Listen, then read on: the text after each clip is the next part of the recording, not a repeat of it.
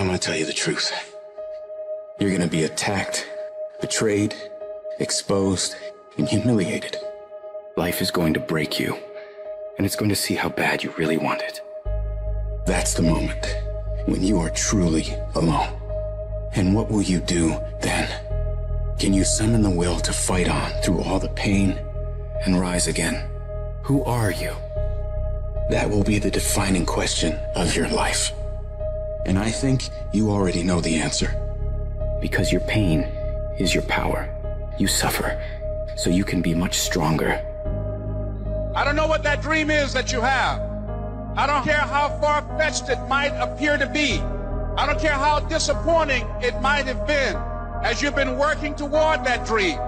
But here's what I know that that dream that you're holding in your mind, that it's possible. Albert Einstein said, imagination is everything. It's a preview to life's coming attractions. Everything you imagine is a preview to a coming attraction. Once you understand that and quit looking at your imagination as hocus pocus, it opens up a wide range of things and possibilities. And if you're bold enough, if you're strong enough, if you can handle the pain, you can make it happen. You just can't quit in the middle of the journey. In every project, there's escape hatches. And if you don't bolt them closed when the going gets tough, boom, away you go. When you make up your mind to do something, quitting should never be an option.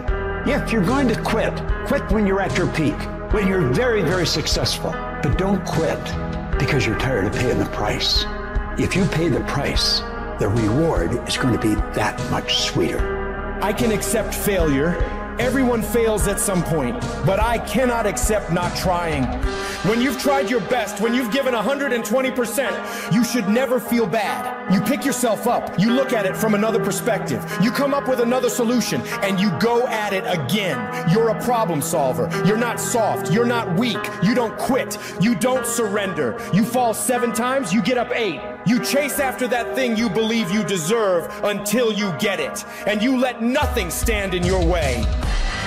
You can't ever feel bad when you put forth 120%. You can't let the outcomes make you feel whack. You're not whack. You're a warrior. You won't always win, but you gotta always try.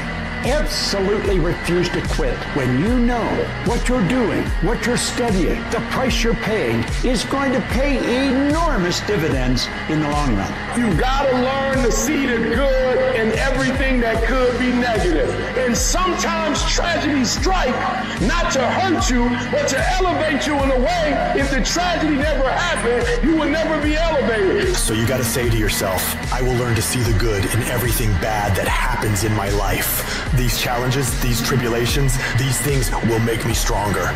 With every decision comes a result. With every decision that comes an outcome. And so in order for you to make your dreams and goals become a reality, you gotta be a great decision maker. It's one thing to talk about your dreams, but it's another thing to wake up when you know you're supposed to wake up, to try again when you failed for the hundredth time, to say no to quitting when your body is screaming that you stop. Those decisions, they are the path to your dream. There will be nobody in this world that will stop you from becoming what you want to become except you. If you walk out of this room today, you want you to make good decisions. Because when you make bad decisions, you destroy you. You're killing you.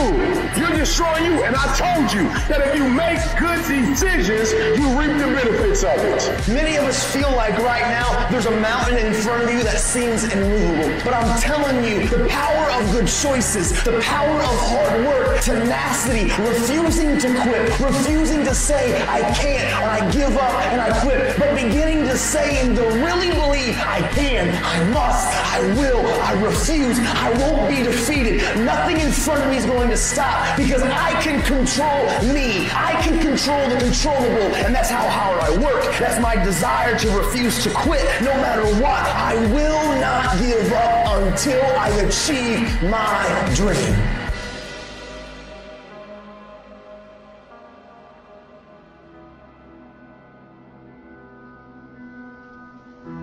To anyone out there that's listening that's started to go down, down in that hole, trapped in the chains of depression or addiction or rage. You're going through a tough time. Maybe you're walking through real depression. Maybe you are in a valley today that you've experienced the worst failure of your life and you are on the verge of giving up. Maybe you're here today and your marriage is on the rocks. Maybe you're here today and you're dealing with anxiety on a daily basis. You know what it's like to be in a lonely, dark place. You know what it's like to want to quit. You know what it's like when the pressure's overwhelming, when people expect your best, but you're at your worst. That is a moment of choice. That is a moment of decision. What will your response be? Are you going to sit back or are you going to step up? Adversity creates the perfect moment for audacity. It's in your adversity. The thing that comes out of you is what defines you. When life is squeezing you and pressure is on you, what's really inside of you? See, there's some people in this room right now that you need to hear this loud and clear. You need to get this in your spirit because I don't know what you're walking through, but some of you right now, you are in a tough season. An event has happened and something's happened, and maybe you have failed. But I want to remind you that failure is not final, it's formative. It is part of the process, it's part of the journey. Your failure matters as much as your success. How do you think you're going to grow if you don't ever fail? Yet some of you have failed and you have decided, well, guess what? I'm a failure. No, failure is an event. It is never a person. Just because you failed doesn't mean that you're a failure. In fact, failure is actually fuel for your future. The way that you grow, the way that you advance. You have to fail in order to succeed. The darker the night, the brighter the morning. This too shall pass. You're going to get through this thing. You might not be in control of the storm, but you can have the courage to face the storm to say, I'm not going to back down. I'm not going to run away. I'm going to walk through this thing because I believe this thing is leading me to another miracle. You see, the fight's not over if you've been knocked down. It's only over if you quit. If you make the decision to get up one more time, I'm telling you, you will win the fight.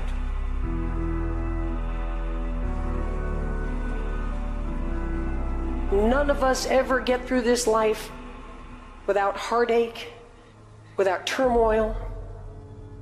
We're all going to fail at something. Everyone's failed at something. Life is a trial, and trials are never supposed to be easy. Life is hard. It's hard handling the tragedies of life. When you're working on something and, and you put everything you have in it, and it doesn't work out, you lose your money and other people's money. It's hard. It is okay to be scared. It is okay to cry. But giving up should not be an option. And it doesn't matter how you get knocked down in life, because that's going to happen. All that matters is that you got to get up. Because when you fail, you get up, and then you fail, and then you get up, and that keeps you going. That's how humans are strong. Failure is an option, but giving up is not. Find a way. If you believe and you have faith, and you can get knocked down and get back up again, and you believe in perseverance as a great human quality, you find your way. You gotta have that resiliency over and over again. You gotta make a commitment to keep stepping up to the plate and swinging for the fences. Every day, whenever you do what you do, swing for the fences. Understanding when you swing for the fences, sometimes you'll miss. Did you know Hank Aaron had twice as many strikeouts as he had home runs?